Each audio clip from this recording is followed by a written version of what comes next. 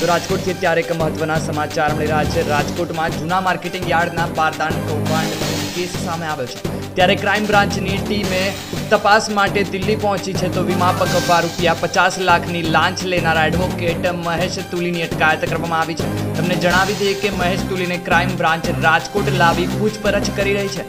ત્યારે ક્રાઇમ બ્રાન્ચની ટીમ તપાસ માટે દિલ્હી પહોંચી હતી ત્યારે વીમો કપાર રૂપિયા પચાસ લાખની લાંચ લેનારા એડવોકેટ મહેશ તુલીની અટકાયત કરવામાં આવી છે.